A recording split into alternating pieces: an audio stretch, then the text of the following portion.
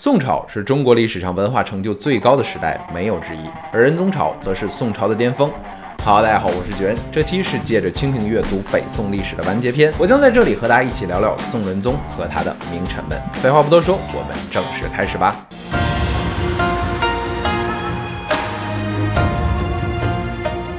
宋太祖赵匡胤为了不重蹈前朝军阀割据的覆辙，打破贵族对于官职的垄断。开始以文替武，大力的推广科举。后经太宗、真宗两代的不断改良，到了仁宗这一代日趋完善，迎来了丰收的季节。用苏轼的话说啊，仁宗这一代出的人才够三世子孙用了。比如说英宗时期的韩琦、富弼，神宗时期的王安石，都出自仁宗时期。四大发明：指南针、活字印刷术、火药，占了三个。而唐宋八大家中，宋朝的六个更是被仁宗一口气儿包圆了。可以当得起一句“天下英雄尽入伍，够中矣”。其中最具代表性的就是一体两面的范仲淹和吕夷简。范仲淹用我们现在的话说啊，是一个认死理儿的人。刘太后垂帘听政时期呢，他还仅仅是个负责皇家藏书、抄抄写写的小官儿，就敢上书让太后还政，结果可想而知，被贬官出朝。仁宗亲政啊，把他叫回来不到一年，力荐仁宗阻止废后，二次被贬。重新启用之后呢，依旧没有任何改变。上百官图指责宰相结党营私，三次被贬。古往今来啊，不贪污受贿的清官很多，官场之上真正难的是人情二字。不管是提拔自己入朝为官的晏殊，还是权倾朝野的宰相吕夷简，亦或是当朝天子，只要违背了范仲淹心中的公理，都照怼不误。这在吕夷简看来啊，是误名无实。只知道一味的炒作自己的名声，对此呢，范仲淹专门写了一篇《晋名论》来为自己辩解。全文总结起来就是啊，道家所推崇的淡泊名利，实则是不爱名节，明哲保身。嘴上说着做官不图名的人啊，实则毫无责任感，根本不可能为国家效力。我相信大家提起士大夫精神，很多人都会想起孟子的那句。穷则独善其身，达则兼济天下。但是这在宋代以前呢，实际上只能说是一个美好的愿望。从魏晋南北朝时期的上品无寒门，下品无士族，到隋唐时期的关陇门阀集团所把持的贵族政治，到五代时期的武人政治，读书都很难改变命运。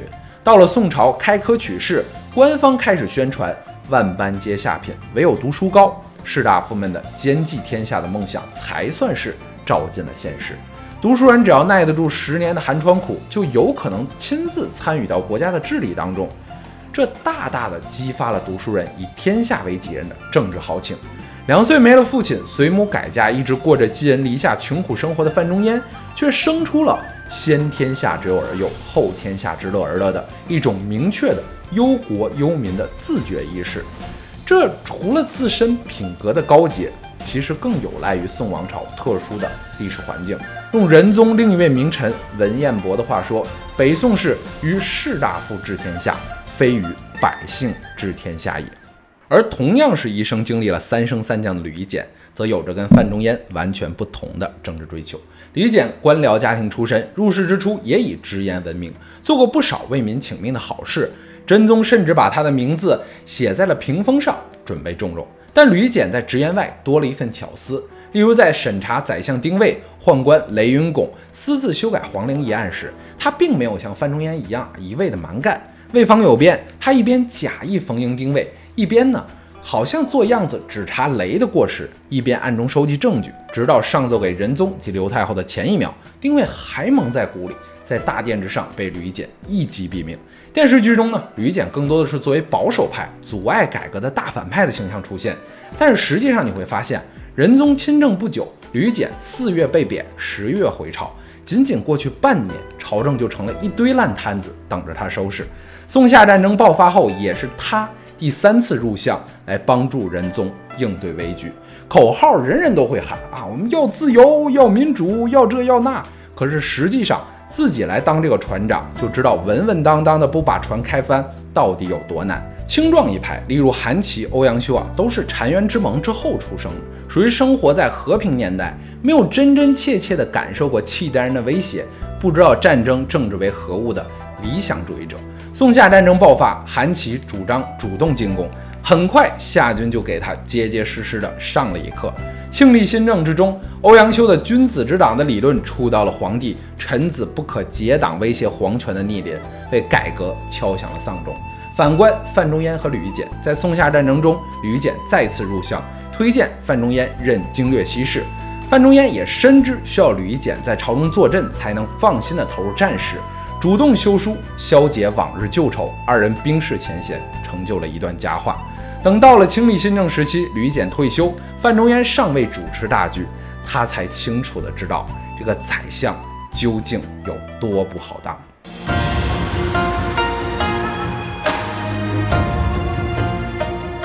不管是仁宗时期的庆历新政，还是神宗时期的王安石变法，都离不开一个字：钱。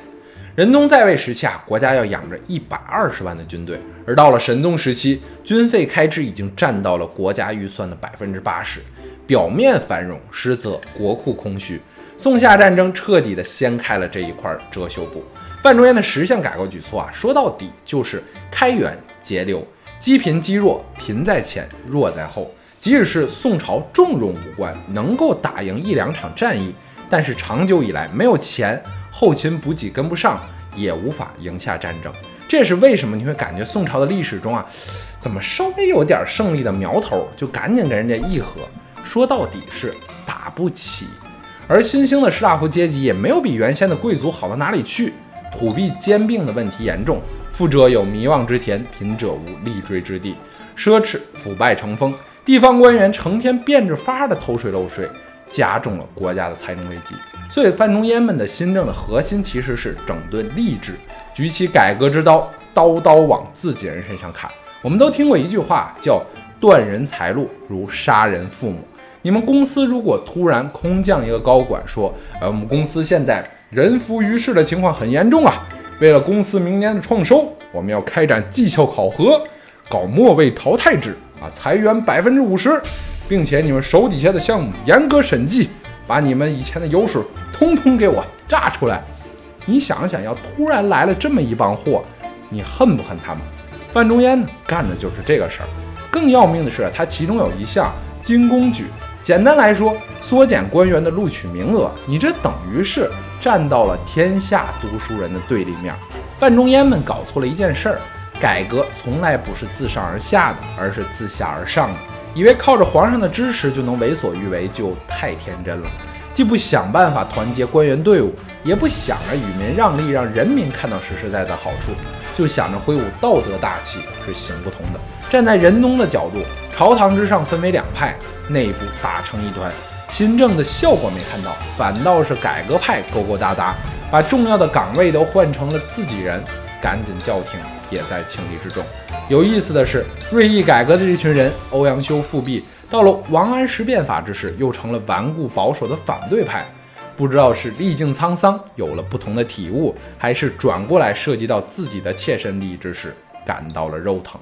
庆历新政的结束，另外一个重要的原因是夏朝和辽朝关系破裂。为防止腹背受敌，夏朝和宋朝议和。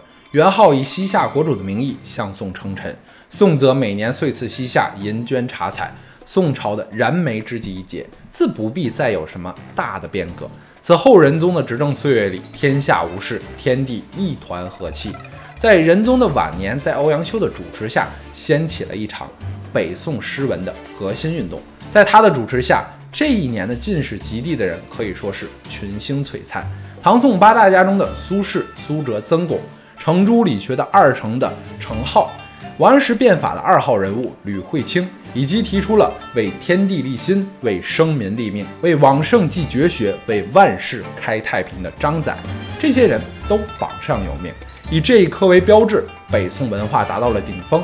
同时，这一科也为北宋的衰败埋下了伏笔，拉开了北宋党争的序幕。只不过仁宗已经看不见了。